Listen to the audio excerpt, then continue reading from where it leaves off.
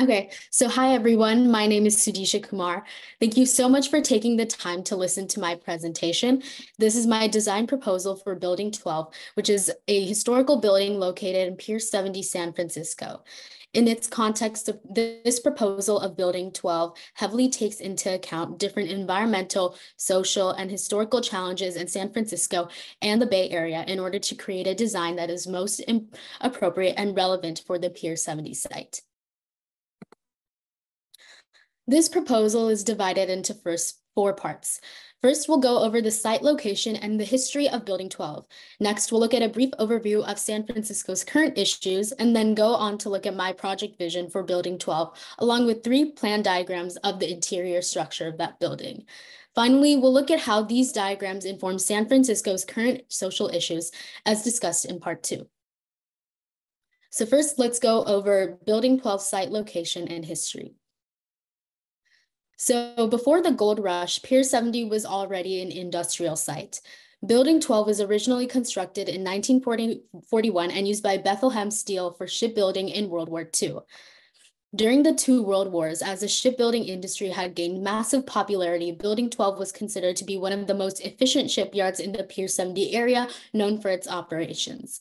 And then after World War II, Building 12 continued to be used for the construction of ships and was notably used to build Bay Area Rapid Tra Transit Tunnels, or otherwise known as BART tunnels, that crossed under the San Francisco Bay.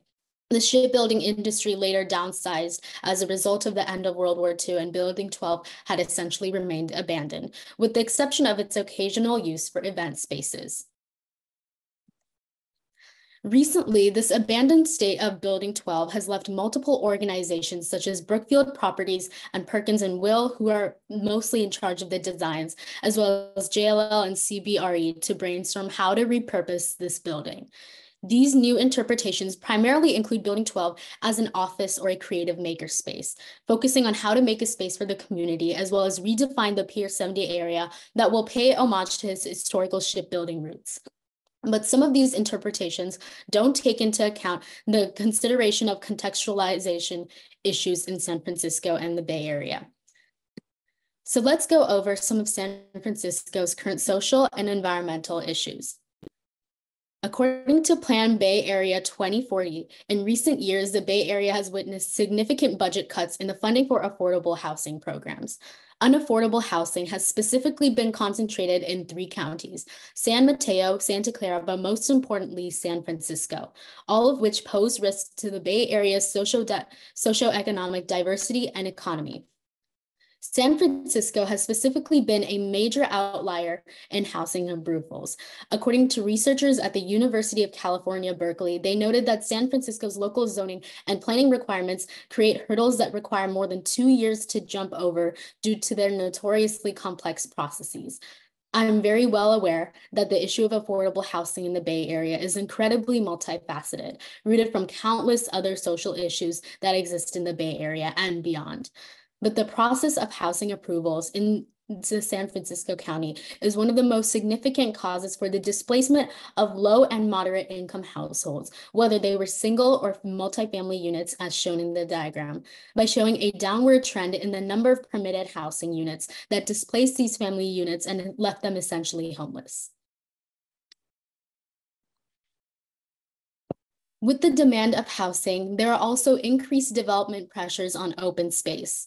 According to a Sustainable Agricultural Education report in 2011, or otherwise known as SAGE, as development pressures have reached traditional agricultural communities, there are more opportunities for large urban corporations to buy lands for specifically urban use, causing the cost of agricultural land in the Bay Area to skyrocket. Bay Area farmers and ranchers experience the most conflict with these businesses and are forced to overcome these competitive disadvantages in order to keep their land. This report also speculated that this could address a new issue of food sustainability and sourcing, as less agricultural space makes it more difficult to supply healthy food to urban regions, residents, and visitors. Additionally, allowing other carbon positive urban corporations to consume this open land worsens air pollution and leaves less room for natural ecosystems and inhabitants to thrive. The demand of housing also has its effects on transportation goals. Many individuals in San Francisco with lower paying jobs face overcrowded and unhealthy housing, so they are prompted to move farther away from their jobs. And this overwhelming connect, disconnect between where people live and work, as stated by the Plan A Bay Area 2040 report, makes transportation more difficult, which results in record levels of freeway congestion, higher transportation costs, and more pollution from passenger vehicles. In response to some of these complex social and environmental issues, my vision for Building 12 is a sustainable homeless shelter that preserves the skeleton of the original historical building as a way to promote sustainable building practices, but also whose program or usage can be used to potentially reduce the displacement of low and moderate income households and offer a solution to those social issues in the Bay Area. I currently have three plan diagrams of the interior structure of Building 12, referencing Google Earth in order to analyze the most current state the building is in right now and building off of the interior structures that are already existing. So this is my plan diagram of the first floor. The open space and services floor features one general office, one counselor or therapist office, and one nurse's office. And given Building 12's large space and natural lighting, the first floor also features an open room for a lounge, as well as an additional unisex bath bedroom or bathroom unit. The diagram is also to scale. One centimeter is equivalent to around 15 feet in real life. This is a plan diagram of the second floor, which is which is a part of the main interior structure and features the main bedroom and bathroom unit. Communal bathrooms are on the left and right wings of the second floor, while bedrooms are adjacent to the bathrooms and primarily concentrated in the middle. Finally, the plan diagram for the third floor features an open recreational face, space and dynamic and flexible furniture. Activities such as arts and crafts, games, reading, etc. can also take place on the third floor. And another communal bathroom is available on the left wing, while the right wing features one job training or volunteer office for residents.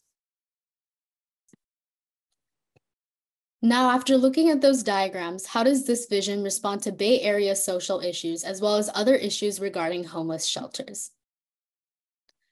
Let's look at a few homeless shelter concerns. According to Brighten the Corner, a local nonprofit organization based in the Bay Area dedicated to serving the homeless, they interviewed several residents and found that many feel reluctant to enter a homeless shelter because it fails to connect them to lo local job opportunities or gain financial stability. This is why many individuals, when leaving the shelter, are stuck in the same situation as they were before. Additionally, they also state that individuals tend to form supportive relationships with one another and may not want to risk that support system when entering the shelter. Finally, according to a 2021 report by the American Civil Liberties Union Foundation in SoCal, the number of Orange County Fire Authority calls for emergency medical services at the Courtyard Emergency Shelter averaged around 78 calls per month. The high number of medical emergencies at the courtyard shelter reflects extreme physical and mental vulnerability of some of the homeless shelter population. So let's look at a solution. Pier 70 has supported several manufacturing jobs for centuries. The third floor will contain a job or housing assistance office, which will be able to connect the shelter's residents to local manufacturing jobs, as well as even housing opportunities that will enable them to gain financial stability. Additionally, Building 12 will contain many opportunities for socializing, and residents will be able to connect with one another in the open lounge space on the first row or perform recreational activities on the third floor of the center section. Now let's look at some environmental concerns. According to the San Francisco benchmarking report in 2014, just over half of greenhouse gas emissions had came from energy used in the city's residential and commercial buildings. These buildings often consume large amounts of energy for lighting, heating, cooling, and other operations. Additionally, according to the constructor, constructor report of 2024, the construction industry results in airborne particles that have a size range of less than 10 micrometers in diameter. And such seemingly invisible particles can cause harm to humans and environmental health. So in an attempt to minimize non-renewable energy consumption, the shelter will utilize renewable forms of energy such as solar power, but also with the advantage of being located near a wa waterfront, perhaps also hydroelectric power in order to reduce the use of fossil fuels and lower the emission of greenhouse gases. But given hydroelectric power, hydroelectric power's negative impact on aquatic habitats as it requires the construction of dams underwater, it may not be the most reliable source of energy. Additionally, LED lights, which last longer and use up to 90% less energy than most lights according to energy.gov, will be used to contribute to the building's interior ambiance.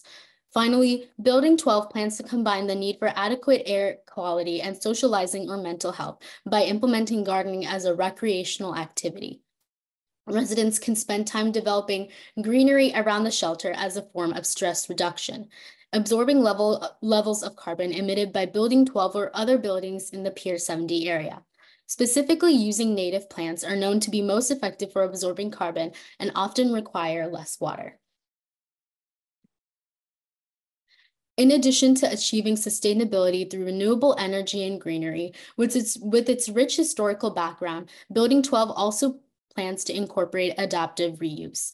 Building 12 will continue to maintain its industrial aesthetic, primarily its structural floor, windows, paneling, and roof decking, which according to a report by Brookfield Properties account for 75 to 80% of a building's embodied carbon footprint. According to their design proposal, and similarly to my proposal, Brookfield Properties' current interpretation of Building 12 invo involves continuing to perform this as an industrial retro chic aesthetic as a form of adaptive reuse that conserves resources and preserves the historical roots of Pier 70. By incorporating adaptive reuse, Building 12 becomes a link to San Francisco's history, allowing it to maintain its distinct urban identity but by also taking into account social context and the policy issues surrounding the Bay Area, the community can feel like a part of both San Francisco's rich shipbuilding history, but also sustainably social and socially inclusive future. Thank you so much. If you have any questions, you can email me or you can ask in the webinar. Wonderful job, Sudisha. Um, what was the most inspiring part of, you know, putting together this building plan and floor plan for you? I think for me, the most inspiring part was looking at how it wasn't just building 12, but also other buildings in the Pier 70 area that were using adaptive reuse. Uh, when I was talking about this to my mentor, uh, he did mention that um, like some studio or art spaces were modeled off of previous factories. And that kind of gave me an idea for this project and how sustainability can be used in the form of adaptive reuse in order to um, maybe reuse a building and program it in a way that resolves social issues. So I think that was one of the most motivating aspects for me for this project. That's awesome. Thank you so much for your beautiful presentation and your work.